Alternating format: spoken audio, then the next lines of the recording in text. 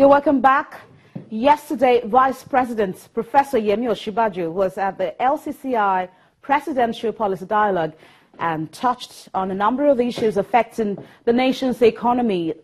The Vice President said that the Muhammadu Buhari's administration is determined to create an enabling environment for the ease of doing business in the country.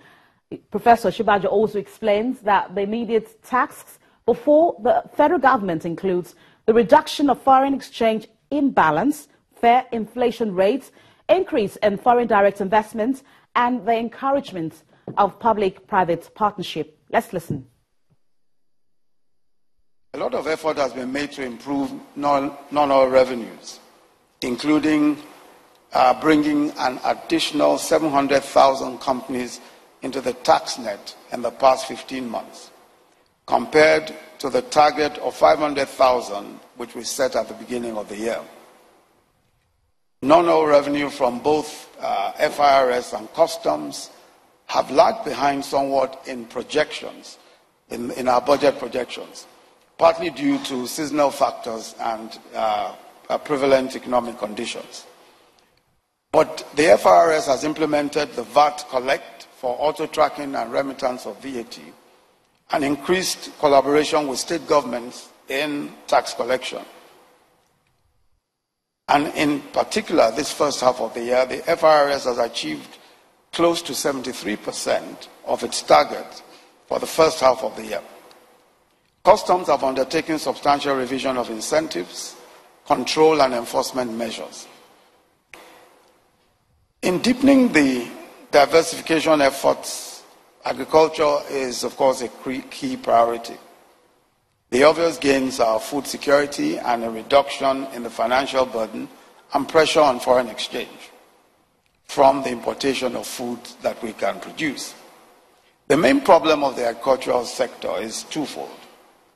One is the inability to meet domestic food requirements. This is a productivity challenge driven by an input system and farming model that is largely inefficient. Inadequate seeds, fertilizers, irrigation problems, crop protection. The second is an inability to export at levels required for market success and to make a real difference uh, in terms of contribution to revenues especially foreign exchange revenues. And this is on account of an inefficient system for setting and enforcing food quality standards, poor knowledge of target markets, weak inspectorate system, and poor coordination amongst relevant agencies. The government has commenced the process of resolving many of these issues, and in particular, the government is committed to ensuring self sufficiency in, in, food production and being a net exporter of certain uh, types of produce. In the area of rice, for example, wheat, sugar production, maize, beans, soya beans, millet, sorghum, fish, vegetable oils, meat, milk, fruits, and vegetables.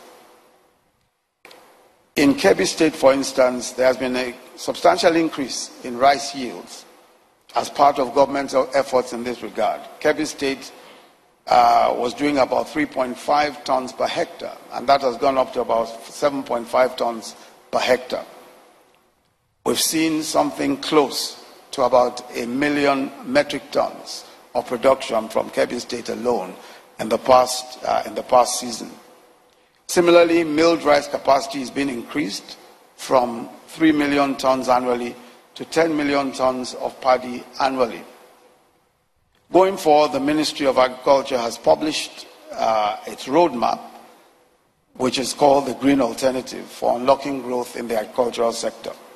There are several steps that are being taken to ensure that that whole agro-allied value chain is uh, given uh, due attention, and in particular, that we improve all of the processes for export, especially of vegetables and uh, of, of vegetables and fruits. We of course realize that the private sector has been the engine of growth in any successful economy.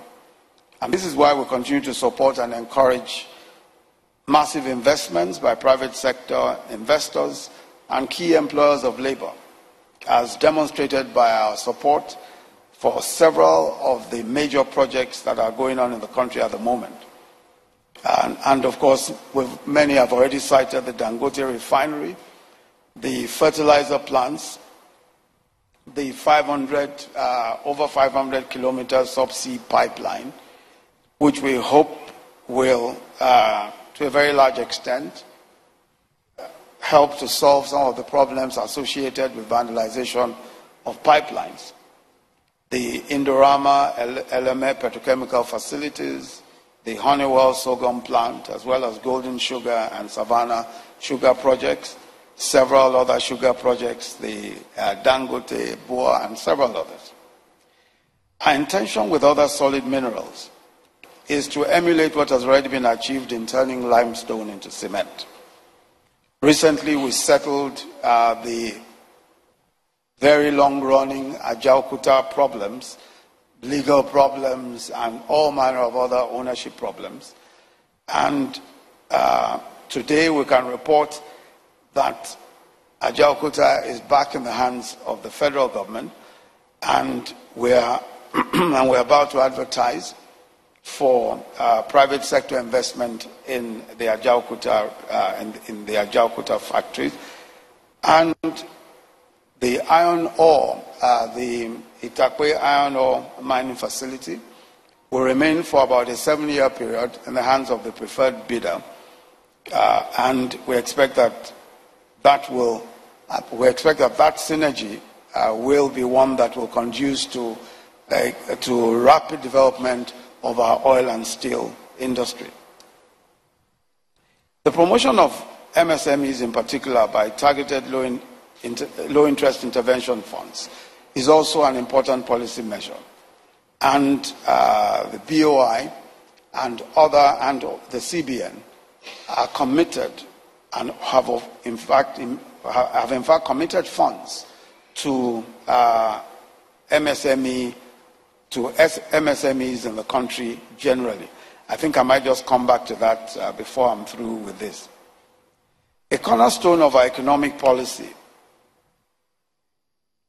is the focus on infra- infrastructural investments, especially power, roads, rail, and airports, just to mention uh, a few. Just to mention a few of them, the Abuja Kaduna Standard Gauge Rail Line is now up and running, while work is underway with regard to the first leg of the Lagos Kano Railway, which will run from Lagos to Ibadan, from the, uh, from the Lagos ports, from uh, uh, the ports in Lagos to Ibadan, and the Calabar Lagos line, which will start from the Calabar end.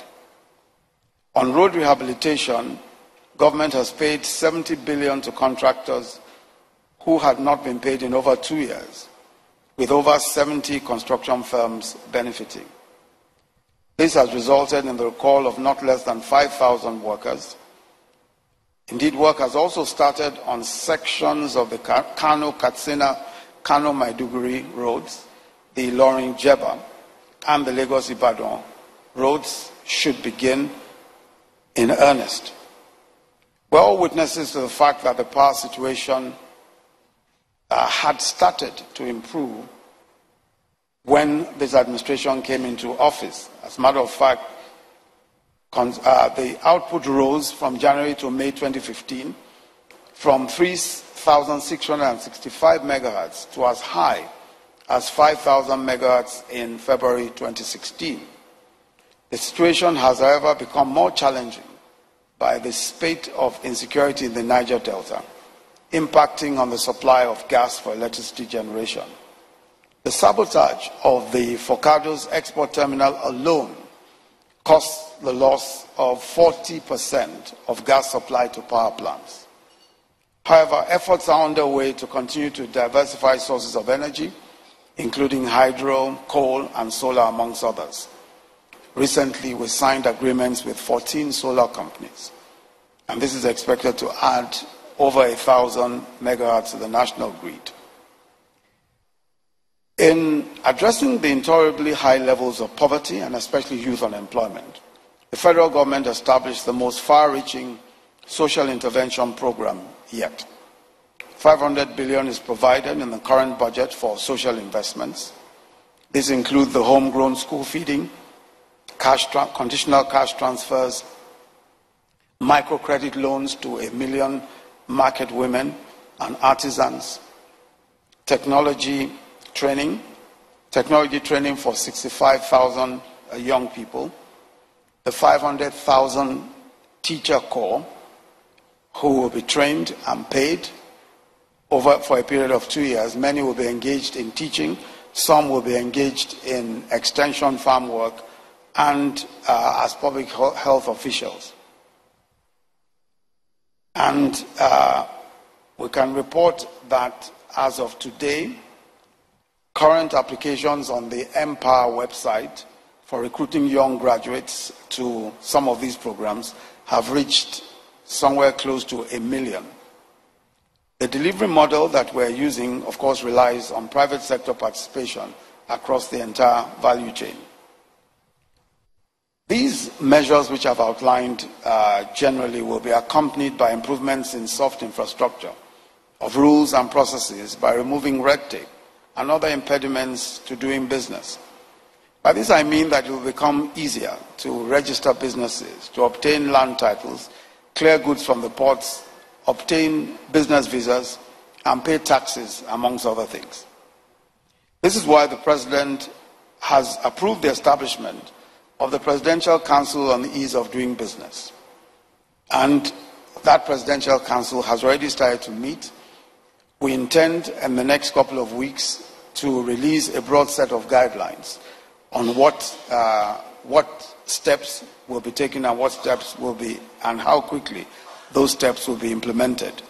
We intend to draw up timelines to ensure that there is uh, adequate accountability as to what is done and how quickly this is done. We've been talking to the states at the level of the National Economic Council and at consultations with individual states to ensure that we're able to deliver on such matters as land titles and development control permits. We think that is absolutely important that in order to deliver on our ease of doing business, that the states collaborate with us effectively and uh, We've received firm commitments from the states that they will work with us closely to ensure that we're able to deliver on our promises on ease of doing business. The present administration is a strong believer in public private sector dialogue. We've scheduled periodic meetings with the private sector to ensure quality feedback and to make policy process to make the policy process inclusive. We will institutionalize a quarterly business briefing as a means of making permanent that policy, this policy dialogue starting the next quarter. We fully realize that our plans have to continue, that our plans have to continue uh, to, and that to, to be able to rapidly implement these plans, we must ensure consistency and we must ensure that we are focused. We are firmly convinced that the Nigerian economy is resilient, that it will surely turn the corner. Our economy is robust. We have incredibly innovative and dynamic entrepreneurs. We have a vibrant market. We have the tremendous resource endowments, and we have an uncontested reputation for hard work. On the part of the government, our task is clear to ensure security, fight corruption, and improve the economy and the business environment. Our immediate tasks are to achieve one, to reduce fiscal and foreign exchange imbalances, to boost dollar liquidity, curb inflation, lower interest rates, and ensure lending to the real sector. Increase FDI and FPI by sustaining enabling policies, encourage PPPs, and other collaborative commercial engagements with the private sector to deepen diversification, create jobs directly and indirectly, and reduce poverty. These challenges are significant, but the opportunities to get it right are even more significant. For us, for us, focus, steadfastness, and consistency are crucial. Vice President Professor Yemi Osinbajo. We'll go on a break now. I'll be right back.